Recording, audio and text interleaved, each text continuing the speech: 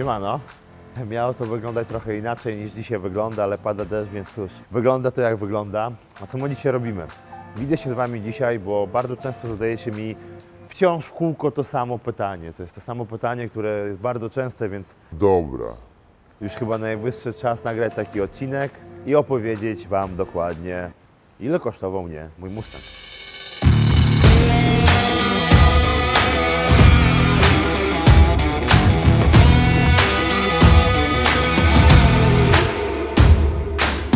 Samochód znacie, stoi tutaj. Generalnie, no co, no jest to Ford Mustang GT z 2017 roku.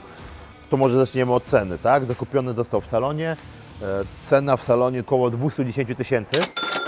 Co najważniejsze, nie nagrywam tego w celu chwalenia się, bo nie wiem czy wiecie, ale Ford Mustang jest to najtańszy samochód serii GT. Czyli to jest najtańszy samochód możliwy z klasy właśnie tych samochodów sportowych. Więc nie chodzi o to, żeby się chwalić, bo nie ma czym się chwalić. Nie jest to żaden AMG Mercedesa, ale uwielbiam Mustangi, więc dlatego zawsze chciałem mieć Mustanga, więc po prostu chciałem podzielić się z Wami mniej więcej jak to wygląda. Troszeczkę w niego jeszcze pieniążków zainwestowałem i teraz po prostu przyjdziemy po kolei i powiem Wam, co tutaj jeszcze zrobiłem dodatkowego. Najważniejsza rzecz w samochodzie to jest oczywiście wydech. Oczywiście jest wydech Remusa. Możecie sobie zobaczyć, jak to wygląda. Wydech kosztował mnie około 12-13 tysięcy, nie pamiętam teraz dokładnie. I to robiłem od razu na samym początku, jak tylko odebrałem samochód, bo jednak musicie przyznać mi rację, że Mustang ma piękny dźwięk, ale ten dźwięk, który jest tuningowany, to jest to coś, do czego właśnie warto mieć taki samochód, bo jedzie z daleka, a ludzie się odwracają i mówią, co to jedzie? Nie, naprawdę, wydech w samochodzie to jest rzecz jedna z ważniejszych i po prostu teraz musicie tego posłuchać. Kolejna rzecz, która była wymieniona też od razu, tak naprawdę na samym wstępie, jak go kupowałem i odebrałem już go w takim stanie, to były felgi. Felgi oczywiście musiałem wziąć nie inne jak e, Wosena.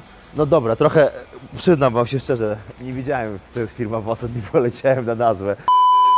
Koszt każdej pojedynczej felgi, 4 sztuki oczywiście, jak w każdym samochodzie, to było około 2300-2400 zł za sztukę, za felgę.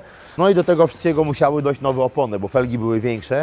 To nie jest ten rozmiar, który był wcześniej. Włożyłem tutaj 20, myślałem, żeby włożyć 21, ale jakby no tutaj wszyscy mi to gdzieś po prostu odradzili. Kolejna rzecz, którą przerobiłem, czy przerobiłem, którą dodałem do Mustanga, są karbonowe elementy. To coś, dzięki czemu Mustang moim zdaniem nabiera takiego kociego pazura. Z przodu mam trzy karbonowe elementy, lusterka jak najbardziej również tutaj były dodane, jeżeli chodzi o karbon, z boku, no i z tyłu, tak? Z tyłu moim zdaniem to robi największą robotę, bo ten tył jest bardziej masywniejszy. Zobaczcie sobie, jak to teraz wygląda. Ten tył stał się masywny, jest wyższy, jest szerszy, jest niższy, czyli generalnie ta dupa jest duża. Moim zdaniem dodało to gdzieś e, kobiecości. A w tym samochodzie to jest naprawdę klasa i wygląda bardzo fajnie. Te wszystkie elementy karbonowe kosztowały około 22 tysięcy, jeżeli się nie mylę.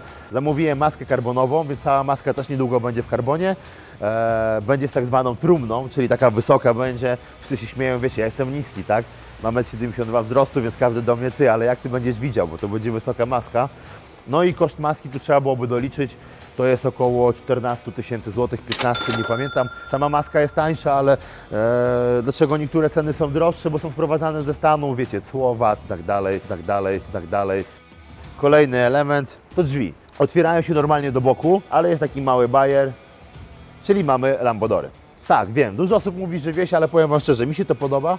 Dostaję bardzo wiele zapytań od ludzi, gdzie robiłem, ile to kosztowało i wiele ludzi mówi też chciało to zrobić. Sporo właścicieli Mustangów do mnie napisało, że im się to podoba. Mówię, szanuję, nie każdemu się musi podobać, ale mi się to podoba. Uważam, że ten samochód wygląda inaczej, o to mi chodziło. Ja nie chciałem mieć samochodu jak każdy inny. No cóż, na Ferrari mnie nie stać, na Lamborghini też mnie nie stać, więc to jest takie Lambo dla ubogich. Koszt takich Lambodorów, całość z robocizną, zamówieniem elementów ze Stanów, no to wyszło około 8 tysięcy złotych, tak? Kolejne rzeczy, które tutaj dalej, no wiadomo, kolor, tak? To nie jest oryginalny kolor, no przecież nikt w salonie nie sprzedałby z motywem Dragon Balla, więc trzeba było zrobić projekt. Koszt projektu to jest w granicach 1500 do 2000 zł i kwestia oklejenia. Samochód nie jest pomalowany, samochód jest oklejony, Jak widzicie jest oklejony w taki, a nie inny sposób. Uwielbiam motyw Dragon Balla. Jest to moja druga okleina samochodu i zastanawiam się nad trzecią. Jeżeli chodzi o koszt, no to folię trzeba liczyć w granicach 8-9 tysięcy. Z grillem to w ogóle jest śmieszna sytuacja, tak? Zdarzyło mi się raz e, sprawdzić na torze oczywiście możliwości maksymalne, jeżeli chodzi o samochodu, czyli jeżeli chodzi o jego jazdę. Kiedy osiągnąłem prędkość maksymalną, nie będę Wam mówił jaką, to niestety grill fabryczny nie wytrzymał. Teraz możecie zobaczyć, grill fabryczny jest wyjęty aktualnie i po prostu czekam na nowy grill, ale ten nowy grill naprawdę będzie na petardzie, też jest ze Stanów zamawiany. Koszt grillu to jest około 1500 zł, czyli ten grill, tak, e, światła, jak się odpala, to jest Angel Eyes, czyli to jest jakby już taki niestandardowy. I tak samo jest na górze. Na górze też mam Angel Eyesy. Tutaj wychodzi około 2000 zł, tak? Czyli zabawa z tymi światłami wszystkimi. Przez ten czas mam tego Mustanga, tak? Czyli mam go około roku, niecały rok. Nie, rok, już ponad rok, bo, bo on przyleciał do Polski w maju, bo prosto z fabryki jestem pierwszym jego właścicielem od wyprodukowania. To jest tak, jak zamawiacie Mustanga, oczywiście można już teraz normalnie wejść Mustanga kupić w salonie, ale wtedy jeszcze przychodziło się do salonu, siadało się, mówiło się jaki chce kolor, jaki kolor tapicerki. Wszystko sobie dokładnie wybrałem, to że właśnie tapicerka w środku jest jasna, to też to był mój wybór. Kolor, czyli oryginalny, to był Rubin Red, też to był mój wybór jak najbardziej. No i dobra, kolejne rzeczy, które wymieniłem, dostało jeszcze coś tam pod maską, parę rzeczy w środku pokażę Wam i to będzie tyle i robimy podsumowanie, ile to kosztowało. To, co zrobiłem w środku, tak? Parę, parę elementów karbonowych dołożyłem, powymieniałem i jak widzicie jest w ogóle inna kierownica. Jest w karbonie, jest zupełnie inny kształt. Ta kierownica to jest prezent od mojej żony na urodziny, 29. Tutaj koszt tej kierownicy był około 2200 zł. Jak ona trzyma się w ręku, to jest coś niesamowitego, naprawdę. Bardzo się cieszę, że ona jest. Przyjdziemy teraz do przodu, otworzę maskę, bo tam też jest parę zmian, bardziej wizualnych. Pierwsza, taka najważniejsza zmiana, trzeba wziąć sobie kijeczek. W moim Mustangu tak nie ma. Pawełku, jak to się nazywa? No widzicie, Paweł też nie wie, ja też nie wiem. Żaden z nas nie wie, na co jesteśmy mechanicy z Pawłem. E, ale generalnie to, na czym się utrzymuje maska, tak? Czyli to jest wymieniona rzecz. Tutaj macie znowuż element karbonowy, jak widzicie. Tak samo tutaj jest szczyneczka, gdzie są bezpieczniki, też została wymieniona na karbonowe. Rozpórka, której nie było, tego też nie było, więc jakby, zobaczcie, nawet silnik jest ułożony też w karbonie. E, wszystkie nakrętki powymieniałem. One są, jak widzicie, to nie są oryginalne nakrętki. E, te nakrętki wyglądają inaczej, w oryginalne.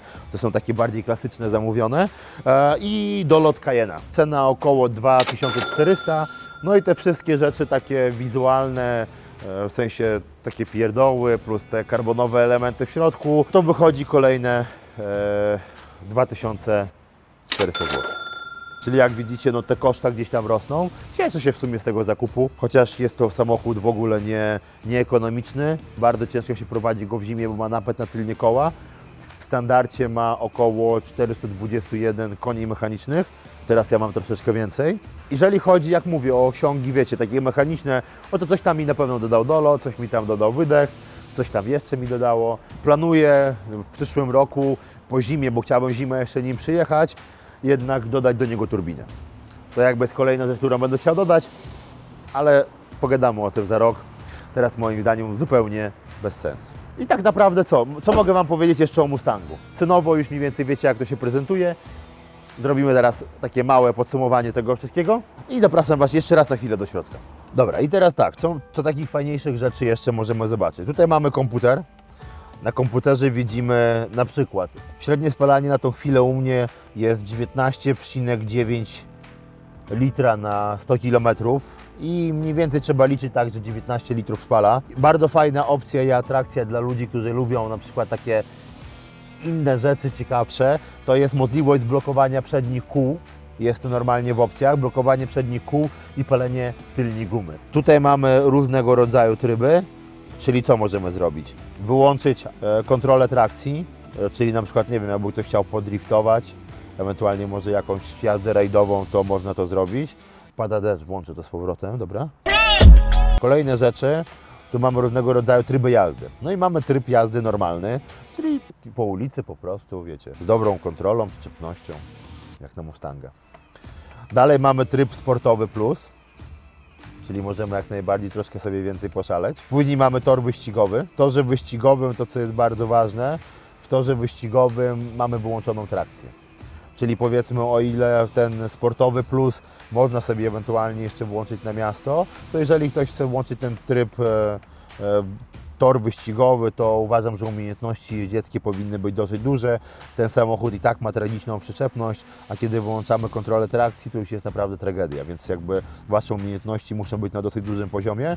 Ja, żeby poprawić swoje umiejętności, bo one nie są jakieś tam wielkie, zapisałem się na jazdę e, driftu, żeby nauczyć się driftować. Nie, ja nie chcę być drifterem, ale parę razy, nawet dzisiaj jak jechaliśmy, była sytuacja, że wiecie, padało deszcz, dałem troszkę mocniej w pedał i samochód zarzuciło, ale widziałem jak go wyprowadzić, więc każdy właściciel Mustanga musi zrobić lekcję jazdy driftu i teraz będę się wybierał jeszcze na jazdę rajdową. Jest po to, żeby się po prostu nauczyć, tak? To jest samochód sportowy samochodem zawsze niebezpiecznym, więc warto się nauczyć. I ostatni tryb jazdy też jest bardzo fajny. Jest to tryb jazdy śnieg łamane na mokre. Czyli w momencie, kiedy właśnie pada mocny deszcz, kiedy jest śnieg, samochód ma dosyć dużą moc, nie chcemy jej wykorzystać w 100%, to po prostu włączamy taki tryb jazdy, e, gdzie mamy mniejszą moc, mówiąc prościej. I to uważam, że jest bardzo fajne. Ja na przykład w zimę właśnie na tym jeżdżę, bo w zimę się jeździ tragicznie. I co najlepsze, teraz spalanie mam jak widzicie 19,9, a w zimę moje spalanie wynosi około 14-13 litrów. Czyli jakby poprzez tą wolniejszą jazdę na pewno znacznie mniej wydaje na paliwo. Słuchajcie, jeżeli mnie pamięć nie myli, to jest wszystko, co mogłem Wam powiedzieć z takich ciekawszych rzeczy o tym Mustangu. Nie jest to Shelby GT, nie jest to Leonora, jest to zwykły GT Mustang, ale jestem zadowolony i śmigam do domu. Na razie.